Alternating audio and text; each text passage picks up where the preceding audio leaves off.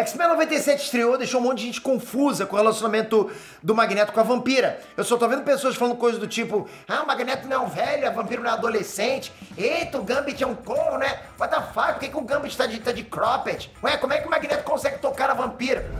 Espera, deixa o cara gozar. Pra todo mundo que tá com essas dúvidas, eu vou tirar elas nesse vídeo agora. Vou trazer todo o background dos quadrinhos pra vocês. Vamos lá.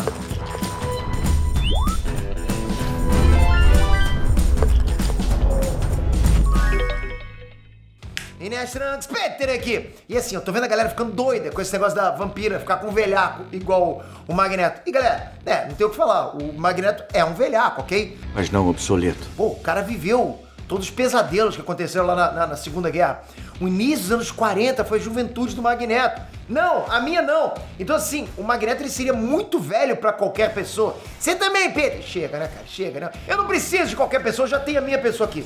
O que eu acho que tá pegando pra galera agora é que eles têm na mente a visão da vampira do X-Men Evolution, pô, que era adolescente de colégio. Ou a visão do, dos filmes live action dos X-Men, que a vampira, tipo, era uma jovenzinha delicada, estudante, que recebia aula do Scott da Jean. Mas galera, a vampira não é nada disso. A vampira, ela regula a idade com todo mundo ali, tirando a Jubileu, que é mais nova, lógico, né? Tipo, o resto dos X-Men da década de 90 já estão tudo marmanjo.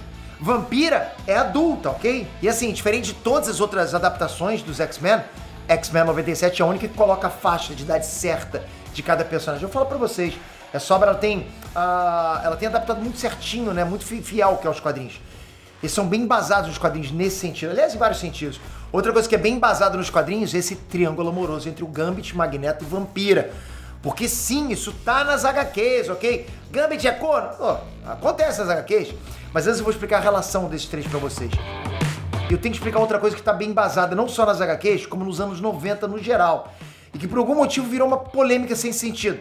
Sim, eu tô falando do Gambit de Cropped, exatamente. Aquele negócio. Não vou fazer aqui não, tá louco? Mas é, pô, estiloso.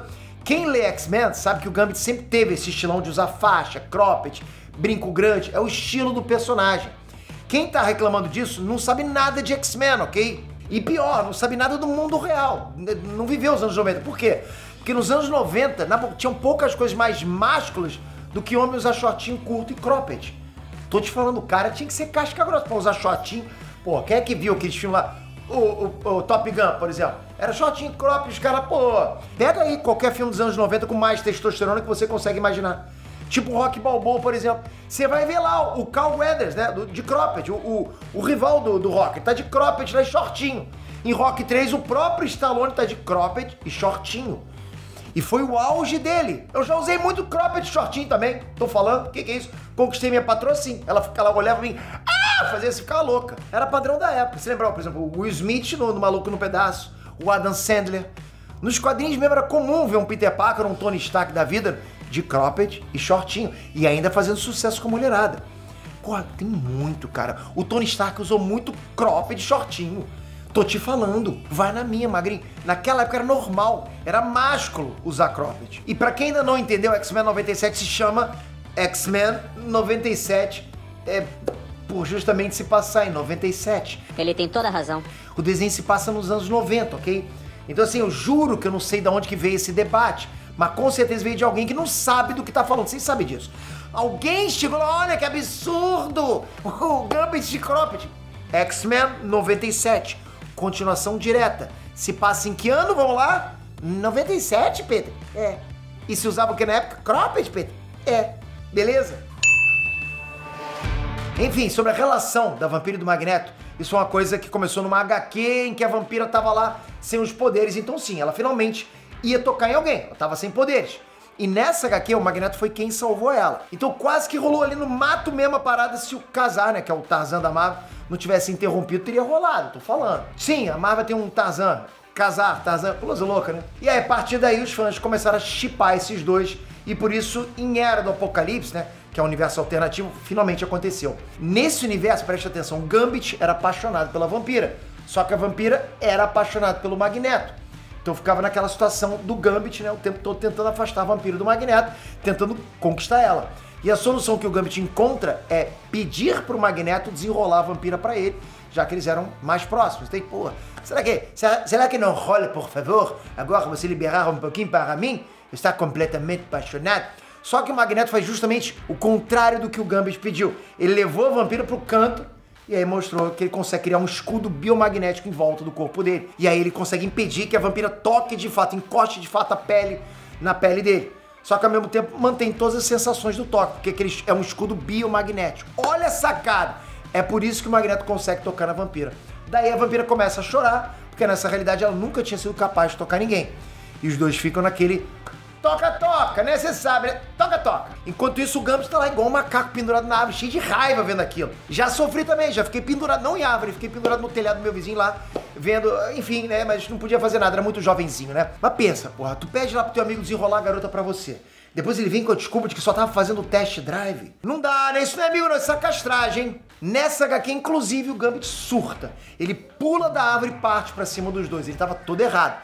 E termina ganhando um tapão da vampira bem na cara. No final das contas, a vampira fica com o Magneto nessa realidade. Eles têm filho e tudo. Sai um magnetinho, coisa louca, né? Aí que a galera começou a chipar mesmo. Chiparam tanto que até a Marvel decidiu fazer esse casal ser oficial no universo meio-meia, né? Que é o universo principal da Marvel. Ou seja, a galera, os fãs que queriam muito esses dois juntos. Pô, poderiam se tocar, na é verdade? Pô, vai fazer o quê? Como é que você vai disputar com um cara que consegue tocar mulher se você não consegue tocar? Na época, a Vampira tinha um rolo com o Gambit, mas começa a ficar confuso com sentimentos e tal.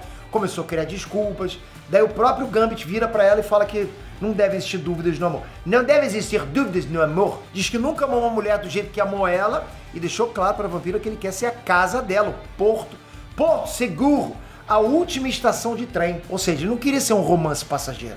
Ele queria casar com ela. A vampira era o felizes para sempre dele. Olha que bacana. Por fim, ele diz para ela só procurar ele quando ela tiver certeza do que quer. E o que, que você acha que ela faz depois de ouvir uma declaração lindíssima dessa? Exatamente. Vai pro quarto do Magneto. Ah, Gambit, foi mal, cara. Porra, mas tá complicado, né? Aí eles ficam por um tempinho, mas depois a relação deles acaba. Hoje em dia aconteceu o que o Gambit disse. Ele foi à estação final da vampira. Gambit e vampira são casados atualmente. Tem revista de casal dos dois e tudo mais. Só que um ponto importante para vocês entenderem sobre a vampira é que os poderes dela não permitem que ela toque em ninguém. Você não pode ter afeto, intimidade, beijo. Não pode fazer, não pode fazer oba-oba, lógico, né? Pô, você não pode nem tocar no cabelo dela. Nos quadrinhos, ela já teve fases que ela conseguia controlar os poderes. Mas depois os escritores surtaram e tiraram isso. E com motivo. Isso aí mata todo o dilema, todo o drama do personagem, para pensar. Tira aquela aquela coisa de a gente ficar preocupado por ela, de a gente sentir por ela. Porque eu acho que o drama dela em ser mutante é justamente não poder tocar em ninguém.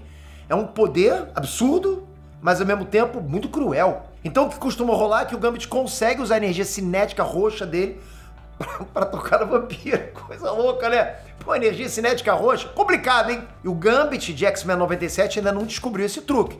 Então a própria vampira não consegue ver muito futuro com ele. Vai fazer o quê? Como que eu vou ficar contigo, cara? Você arruma alguma coisa aí, né, pra me tocar. Como que você fica com alguém sem poder tocar na pessoa? É complicado. Já com o Magneto ela consegue, né? Ele cria essa malha fina biomagnética e vira a única pessoa que a vampira consegue tocar. Única. É um drama um pouco mais profundo que as pessoas pensam gera um triângulo amoroso, né? O Gambit fica bravo. Então vamos ver nos próximos episódios como é que o desenho vai abordar essa treta aí. Mas me diz você, já teve um triângulo amoroso? Não, quero saber isso não. Você quer ver o Gambit ficando bravo? Você acha que eles vão ser fiéis aos quadrinhos a vampira vai casar com o Gambit no final? Coloca nos comentários o que, que você acha, o que, que você gostaria que acontecesse. Já estou olhando. E se você tivesse uma namorada como uma vampira, como que você faria para tocar nela? Dá uma dica também aqui, vamos ver se você consegue ser criativo. Toca aqui agora e se inscreve no canal. Presta atenção, olho no olho. Se você não se inscreve, a máquina para. Para! As ruelas começam a enferrujar. Complicado pra caramba. Mas você tem que estar aqui com o sininho. Não vou parar nunca, galera. Obrigado de coração. Até a próxima. Fui!